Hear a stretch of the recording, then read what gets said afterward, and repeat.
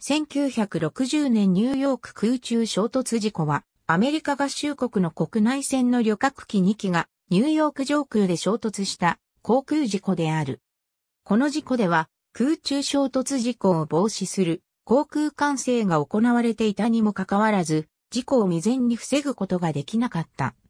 1960年12月16日、ニューヨーク上空で2機の旅客機が空中衝突した。1機はシカゴからニューヨークアイドルワイルド空港に向かっていた。ユナイテッド航空826便の DC-8 から11で乗員7名、乗客77名が搭乗していた。もう一機は、オハイオ州デートンを出発し、オハイオ州、コロンバスを経由して、ニューヨークラガーディア空港に向かっていた。トランスワールド航空266便、ロッキード L-1049 スーパーコンステレーションで乗員5名と乗客39名が搭乗していた。UAL826 便と TWA266 便の飛行経路2機はアメリカ東部標準時の午前10時33分にスタテンアイランドにあるミラー空軍基地西方1マイルの上空5000フィートの雲の中で空中衝突した。衝突は UAL のジェット旅客機が水平方向で時速 560km で着陸のために左に旋回していた TWA のレシプロ旅客機に後方から覆いかぶさるような形で発生した。その上 UAL 機のエンジンの残骸から TWA 機の機内装備品と乗客の遺体が発見されたことから UAL のエンジンが TWA の客室を直撃し破壊していたことが判明した。UAL826 便の墜落現場、TWA266 便の墜落現場、TWA266 便は衝突時に空中分解し螺旋状に落下し、そのままミラー基地の敷地内に墜落した。また、TWA266 便の墜落現場からは、UAL 機の第4エンジンと右側収翼の一部も見つかった。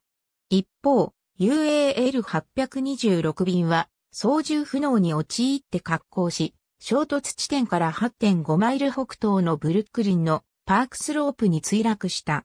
UAL826 便は10棟のアパートと教会、クリーニング店などの商店を破壊し、住民6名が犠牲になった。機体の主要残骸は道路上に散らばっていた。当初 TWA 機の乗客3名が生存していたが救助後死亡した。UAL 機からは雪の塊の上に落下した1名が救助され、事故当時の状況について証言したが、重度の火傷と打撲のため翌日死亡した。そのため2機に搭乗していた全員が死亡し、この事故による犠牲者は合わせて134名にも上った。この事故は当時としては最悪の空中衝突事故であった。また DC-8 の全損事故は本件が初めてであり、民間定期航空路に就航したアメリカ製ジェット旅客機最初の死亡事故でもあった。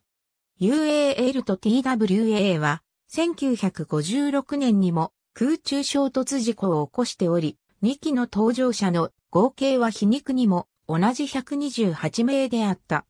なおアイドルワイルド空港ではこの事故から2ヶ月の間に2機が航空事故を起こしたため、連続事故の最小となった。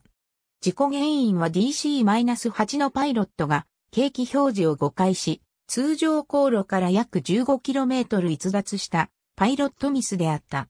また、この危機的状況を航空管制が把握できていなかったことも問題となった。事故当時の気象は小雨と霧と雪が混じっており、景気方式飛行をしなければならない状況であった。UAL 機は衝突前に管制から通常の航路よりも経路を短縮することを許可され、指示通り飛行しようとした。UAL 機は午前10時21分に搭載されていた VOR 受信機2台のうち1台が故障していることをカンパニーラジオで自社に報告したが、航空管制には報告していなかった。VOR 受信機が故障したため、パイロットは後方に ADF を使用した。午前10時25分に航空管制からプレストンまで12マイルショートカットしても良いとのクリアランスを受けた。この際に ADF による景気表示乗り換えに誤解が生じ、時期の位置を錯覚したことが判明した。このことが最大の空中衝突の要因であった。また管制官も UAL 機が予定された航路から約 15km も逸脱していることに気がついていなかった。そのため UAL 機は着陸体制であった TWA 機の後方から高速で衝突してしまったとされた。この事故を教訓にして、アメリカ国内の航空管制システムは全面的なレーダー管制が整えられていった。また、アメリカ上空を飛行する12,500ポンド以上の航空機にトランスポンダの設置が義務付けられ、後方ビーコンの配備が進められることになった。ありがとうございます。